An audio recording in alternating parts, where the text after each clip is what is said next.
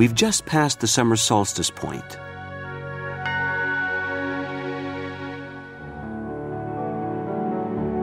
For the northern half of the Earth, it was the longest day of the year. Above the Arctic Circle, the sun stayed over the horizon for 24 hours. The Earth's axis is tilted 23 degrees, and the Arctic Circle is 23 degrees from the pole, so it's just brushed by the sun. But below, at the Antarctic Circle, 23 degrees from the South Pole, the sun didn't rise at all this weekend. Even at noon, it stayed below the horizon.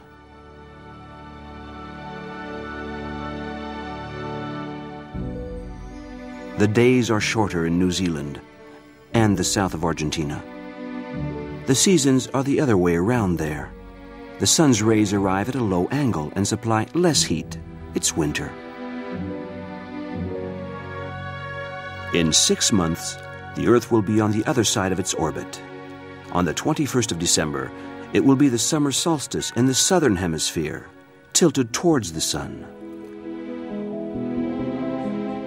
At noon, the sun will be directly over the 23rd parallel, south, above the Tropic of Capricorn.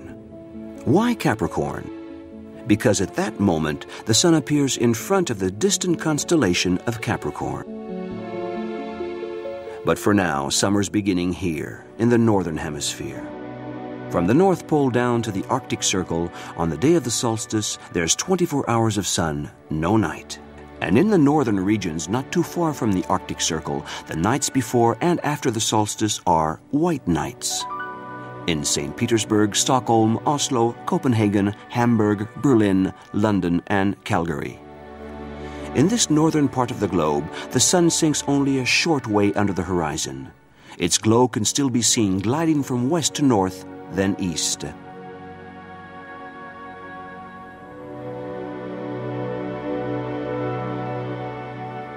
After the sun sets, a glimmer remains sliding slowly across the horizon. Towards midnight, this glow is in the north and it moves towards the east where the sun rises at dawn. In a zone slightly further to the south, covering Paris, Winnipeg, and Vancouver, this white night glow can be seen until midnight, and it reappears at about 3 in the morning.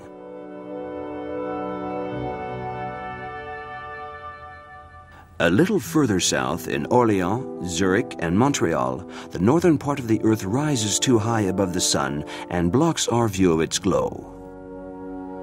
At this latitude, there are no white nights.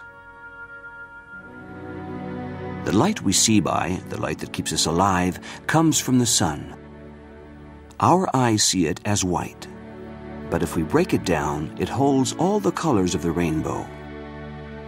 The light we see is only a small part of the rays the sun fires off into space. Beyond violet, the sun emits rays that our eyes can't see.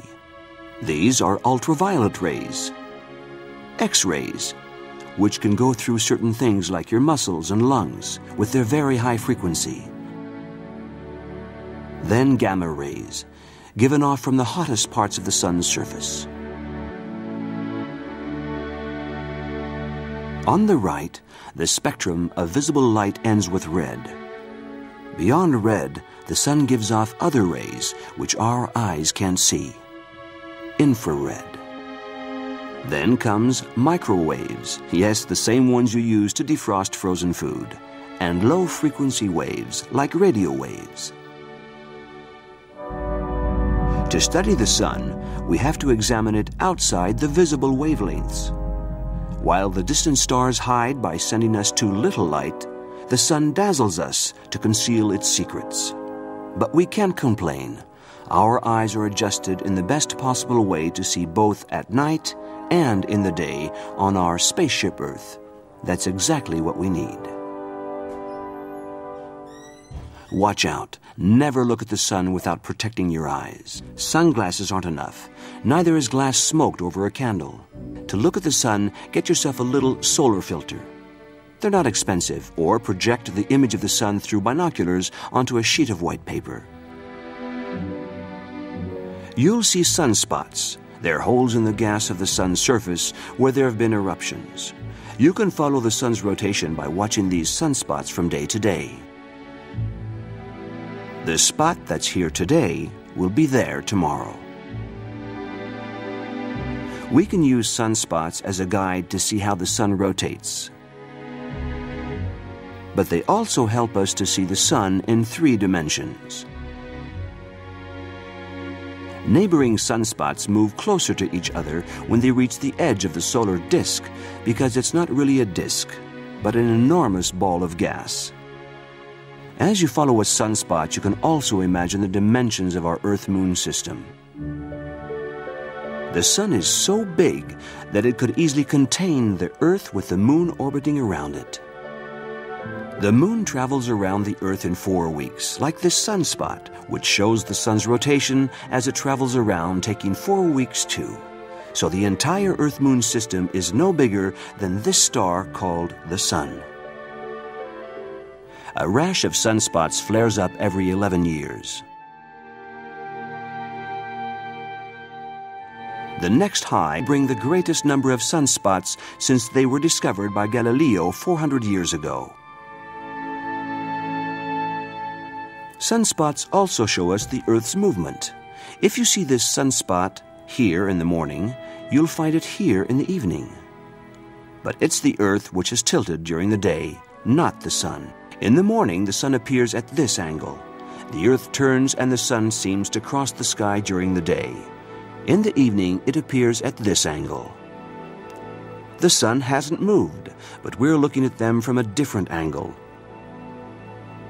Like this in the morning, like this in the evening. Every day, with or without sunspots, you can see the tilt of the earth. At sunrise, the earth turns towards the sun. In the evening, the earth covers the sun.